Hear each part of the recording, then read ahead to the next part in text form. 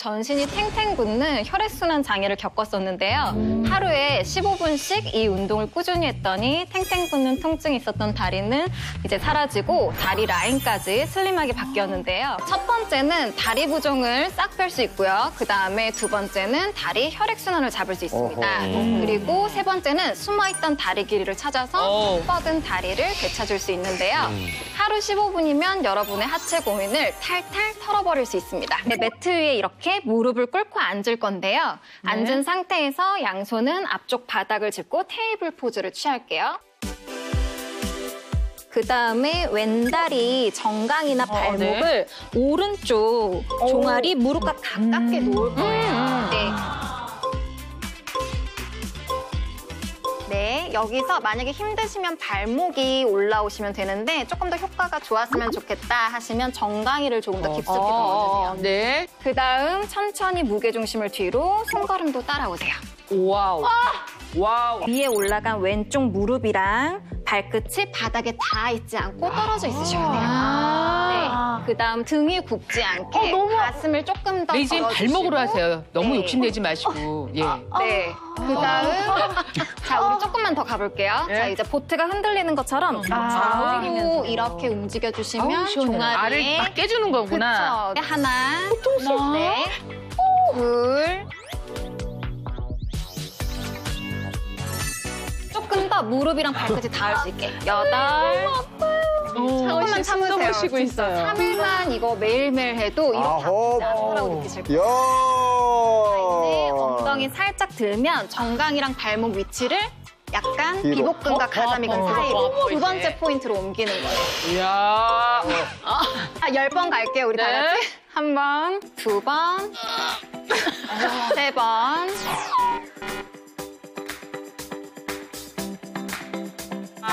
번만 더, 한 번만 더. 열. 네.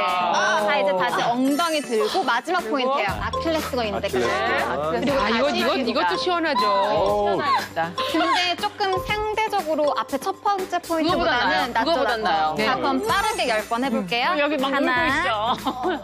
둘, 힘내세요. 셋, 어. 넷, 아우, 시원해. 아우, 시원해.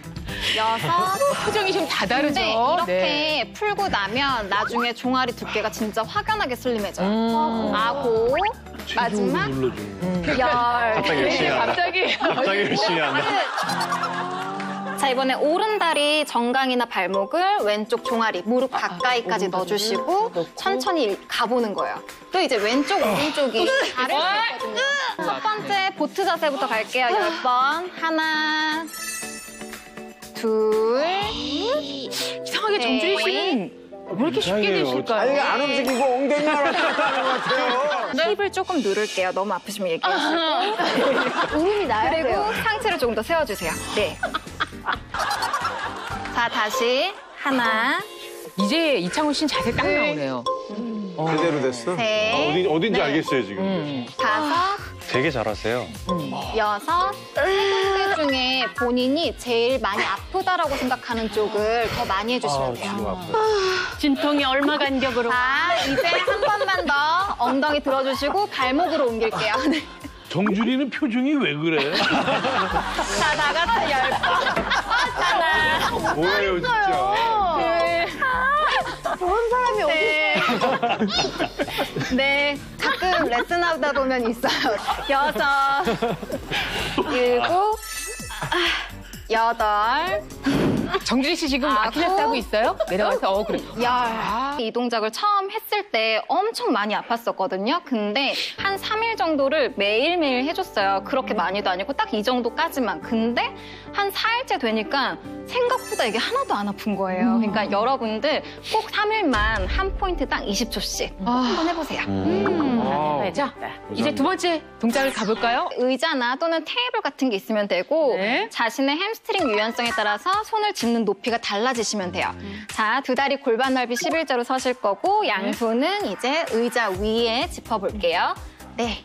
그 다음 천천히 오른 다리를 하늘로 들어주실 거예요. 아. 자, 이때 다리가 골반보다 조금 높게 그리고 상체는 골반보다 조금 더 낮게. 오. 그 다음 이제 밑에 있는 다리가 당기기 시작할 건데 이때 엉덩이 아래 발목이 있을 수 있게 이 위치에서 뒤꿈치를 들어서 종아리 근육을 강화시키고 어. 발가락을 들어서 아. 이제 앞쪽 정강이 근육을 오, 강화시켜줄. 거예요. 이거를 하나, 와. 둘, 와, 시원해 보인다. 셋 어? 이렇게 아, 왔다 갔다. 네 왔다 갔다. 야. 이 동작은 종아리 근육의 수축과 이완을 반복해서 정맥을 펌프질하듯이 짜주어서 피를 위로 올려주는데 효과적인 동작이에요. 어. 그리고 동시에 밑에 있는 다리는 허벅지 근육까지 강화시키는 거고 위로 차올린 다리는 하체 혈액순환에 도움을 주고 짧아진 허벅지 햄스트링을 늘리는 데 도움이 아주 많이 됩니다. 음. 그리고 또 이 동작을 통해서 본인의 하체 근육 상태, 건강 상태에 대해서 셀프로 테스트 해 볼 수도 있어요. 허벅지 안쪽 내전근과 허벅지 뒤쪽 햄스트링 근육이 짧아져 있다면 아마도 다리를 골반보다 높게 들기가 되게 어. 힘드실 거예요. 그래서 다리가 골반보다 높다면 내 몸의 건강 경보등이 초록불인 거고 어. 골반이랑 같은 선상에 있다. 그러면 노랑불, 골반보다 다리가 아래라면 아. 좀 몸에 빨간 경보등이 아. 뿅뿅 켜진 거니까 빨간불이 켜지신 분들은 자신의 근육이 굉장히 타이트해졌다고 생각하시고 정말 열심히 해주셔야 돼요. 다리 골반 넓이 11자, 네. 양손 의자에 일단 잡으시고요. 천천히 왼다리 한번 해볼게요. 네, 왼다리 올려주시고 그렇죠. 자, 굉장히 유연하시기 때문에 손으로 의자를 잡는 것보다 팔꿈치를 내려서 그렇죠. 유지하시는 게 좋을 것 같아요. 여기서 이제 조금만 더 올라가고 오. 오른쪽 팔꿈치 up. 어, 오, 이제 너무 잘하시는데요? 내가 제일 잘하고. 다시 내려놓고 이제 발가락 들어볼게요. 이야! 그쵸. 근데 이때 엄지발가락 앞꿈치가 뜨지 않게 누른 상태에서 아. 발가락만. 그쵸. 다시 내리고 뒤꿈치 up. 휴! 그렇죠. 자, 다시 어, 내리고 좋아. 발가락. 어, 다리 길어져요. 네. 자세 좋아요, 다시 좋아. 뒤꿈치 up 한 번만 더. 휴! 네. 자, 그리고 다시 내려놓고 발가락. 그리고 다시 내려주고 상체 일으키시면 돼요.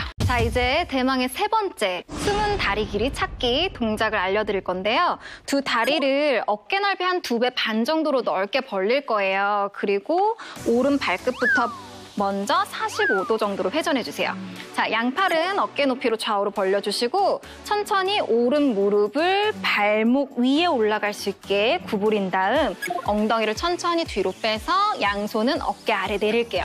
일단 이 위치에서 엉덩이 중심을 뒤로 보내되 척추가 바닥과 평행한 상태를 유지한 위치까지만 여기서 20초 정도 기다려주시고 레지 된다. 와. 하나, 정말. 둘, 유난히 셋, 이거를 넷. 다섯, 여섯, 일곱, 너무 천천히 여덟, 이걸 뒤가 아홉. 이거 타이트하면 이게 안 돼요. 열. 자, 이제 조금 왼쪽 다리가 좀 풀렸으면 이제 왼발 끝을 천장 쪽으로 돌리면서 와. 천천히 앉아주실 거예요. 와. 이 상태에서 이제 손은 자연스럽게 어깨 아래쪽으로 이동하시고 오른팔은 오른쪽 허벅지 안쪽을 밀게요. 와. 네. 그리고 밀어, 왼발가락을 몸 쪽으로 당겨주세요. 아. 그다음 왼발의 엄지발가락 앞꿈치로 벽을 밀듯이 밀면 어. 안쪽 허벅지의 자극이 훨씬 더 강해지시거든요. 찢어질 것 같아. 어. 네, 너무 이게 무리하지 마세요. 인심 길이를 누리는 핵심이에요. 어. 네, 여기가 늘어날수록 인심 길이가 길어져요. 네. 이분들은 안 밀려도 하나, 되겠어요. 지금 하나. 다 되는데. 둘, 셋, 정준인 돌아가셨어. 넷, 다섯, 여섯, 아, 멋있다. 일곱, 여덟, 하시네요. 아홉, 열. 아. 자, 이제 천천히 힙 들고 천천히. 자, 다시 두 다리 11자. 양팔 벌려서 올라오세요. 와. 자, 다시 한 번 더 왼발끝 바깥쪽으로 돌려주실 거고요. 그 다음에 양팔 벌려서 어깨 높이. 그리고 왼무릎 구부린 다음 천천히 먼저 힙을 뒤로 빼서 척추가 반대구나. 바닥과 평행하게. 거기서 어깨 아래 손. 여기서 버틸게요. 잘하시네. 20초 정도. 하나, 둘. 중요한 건 무게중심이 앞에 가 있으면 안 돼요. 힙으로 실리게. 뒤꿈치에 힘이 들어가는지 느끼시고, 여섯, 일곱, 여덟, 아홉, 열. 자, 이제 다 같이 오른 발끝을 천장 쪽으로 돌리면서 앉고, 손 어깨 아래. 자, 이제 왼팔로 왼쪽 허벅지 안쪽을 엄청 밀어줄게요. 그 다음, 갑자기 왜 엄마가 생각이 나지?